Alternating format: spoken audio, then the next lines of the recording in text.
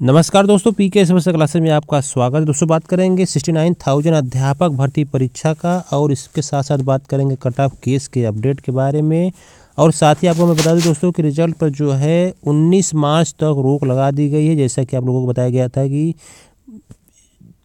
जब तक चलेगा केस, तब तक इसमें जो है रोक लगाई गई है, लेकिन अभी तक अपडेट आया है कि 19 मार्च तक रोक लगा दी गई है और बीच में एक फार्मूला भी आ चुका है। सरकार का वो फार्मूला क्या है, उस पर भी बात करेंगे। सरकार ने एक सुझाव दिया है शिक्षा मित्रों को, जैसा कि शिक्षा मित्रों ने उसमें केस किया था। आप सहमत है तो कमेंट बॉक्स में कमेंट कीजिएगा, नहीं सहमत है तो भी कमेंट बॉक्स में कमेंट कीजिएगा।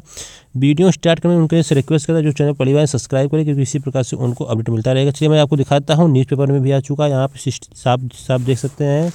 उनहत्तर हज़ार शिक्षक भर्ती पर अब 19 मार्च तक रोक लगा दी गई है। अब पूरा न्यूज़ थोड़ा पढ़ लेते हैं इसमें। यहाँ पर देख सकते हैं, परिषदीय स्कूलों में उनहत्तर हज़ार सहायक अध्यापक भर्ती जल्द पूरी होने के आसार नहीं हैं। इलाहाबाद हाई कोर्ट ने भर्ती के कट ऑफ़ अंक के संबंध में दाखिल याचिका पर अहम आदेश देते हुए 19 मार्च तक रोक लगा दी है।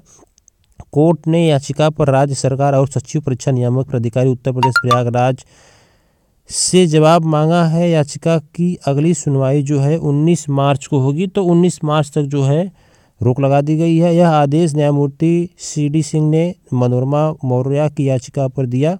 याचिका में कहा गया है कि सरकार ने 21 मई 2018 को शिक्षक भर्ती में सामान्य और अन्य पिछड़ा वर्ग श्रेणी के अभ्यर्थियों के लिए कटाव जो है तैंतीस और एस टी के लिए तीस फ़ीसदी रखा था, जबकि उनहत्तर हज़ार भर्ती परीक्षा प्रक्रिया में कटाव जो है बढ़ाकर सामान्य को पैंसठ व अन्य को यानी कि ओबीसी या आरक्षित वर्ग को साठ प्रतिशत अंक लाने के लिए तय किया गया। तो यहाँ पे देख सकते हैं कि 19 मार्च तक जो है हो सक गया है। यहाँ पे रोक लगा दी गई है कि इसके पहले जो है ये रिज़ल्ट जारी नहीं कर सकते। अब पूरा दूसरा न्यूज़ पढ़ते हैं। दोस्तों, यहाँ पे देख सकते हैं जो मैंने अभी बताया था कि एक फार्मूला दिया था। सरकार ने, सरकार का फार्मूला यहाँ पे देख सकते हैं। लिखा हुआ है, डेढ़ गुना अभ्यर्थियों को शॉर्ट लिस्ट करने का सुझाव दिया है। ये भी थोड़ा न्यूज़ पढ़ लेते मैंने उससे भी आपको लोगों को कल बता दिया था। प्रदेश में सहायक शिक्षक भर्ती शिक्षकों के उनहत्तर हज़ार पदों के भर्ती मामले में इलाहाबाद हाईकोर्ट की लखनऊ खंडपीठ में गुरुवार को भी राज्य सरकार की ओर से अपना पक्ष रखा गया। सरकार की ओर से वरिष्ठ अधिवक्ता प्रशांत चंद्रा ने सुझाव दिया कि कुल पदों के डेढ़ गुने अभ्यर्थियों को शॉर्टलिस्ट करने पर सरकार विचार कर रही है। लेकिन याचिकों, याचियों की ओर से इस मौखिक प्रस्ताव को सिरे से नामंजूर कर दिया गया। यह निर्देश जस्टिस राजेश सिन्हा चौहान की बेंच में मोहम्मद रिजवान व अन्य की याचिकाओं की एक सुनवाई में करते हुए कहा। तो यहाँ पे देख सकते हैं कि जो डेढ़ गुना वाली बात थी, वहाँ पे जो है याचिकाकर्ताओं ने जो है इसको नामंजूर कर दिया है, क्योंकि बताया गया था कि शिक्षा मित्र इसमें भी नहीं आ पाएँगे, उनका नंबर कम है।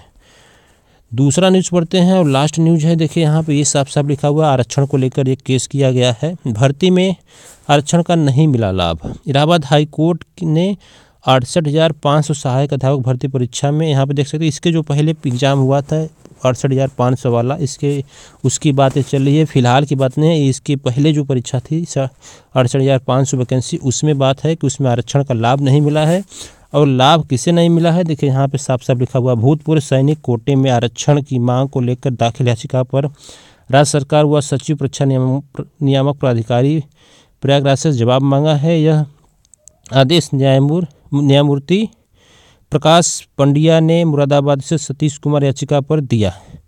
यहाँ पर देख सकते हैं कि इसमें भी जवाब मांगा गया है साफ़ साफ़ यही इसमें लिखा हुआ है कि अभी जवाब मांगा गया है। बीटीसी और टीटी पास किया था, उसने कृष्णा बाल विद्या मंदिर इंटर कॉलेज से यहाँ जो है परीक्षा दी थी, राज्य सरकार ने तीन अक्टूबर उन्नीस सौ नब्बे के शासनादेश, यहाँ शासनादेश का नाम दिया हुआ तीन अक्टूबर उन्नीस सौ नब्बे के शासनादेश से पूर्व सैनिकों को विशेष आरक्षण दिए जाने की इसमें दिया हुआ है। तो यहाँ देख सकते हैं, इसमें भी है, यानी कि आप देख सकते हैं कि उनहत्तर हज़ार शिक्षक भर्ती और अड़सठ हज़ार पाँच सौ शिक्षक भर्ती दोनों जो है केस के दायरे में के अंतर्गत आ चुकी है।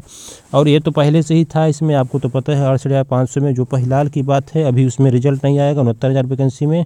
अब ये देखना है कि क्या होता है, अब उन्नीस मार्च तक इंतज़ार करना पड़ेगा। जो लोग इंतज़ार कर रहे थे कि जल्द से जल्द इसका रिज़ल्ट आ जाए, लेकिन अभी नहीं आएगा। अब आपको जो है उन्नीस मार्च तक इंतज़ार करना पड़ेगा, केस चलता रहेगा और आज भी सुनवाई, मैं आपको बता दूँ कि आज भी सुनवाई है, लगातार चार दिनों से इस पर सुनवाई चल रही है। अब देखना है कि क्या होता है, क्या नहीं। तो उम्मीद करता हूँ वीडियो पसंद आएगा लाइक कीजिएगा, शेयर कीजिएगा, चैनल पहली बार आए आए तो सब्सक्राइब कर लीजिएगा। इसी प्रकार से आपको अपडेट मिलता रहेगा। धन्यवाद।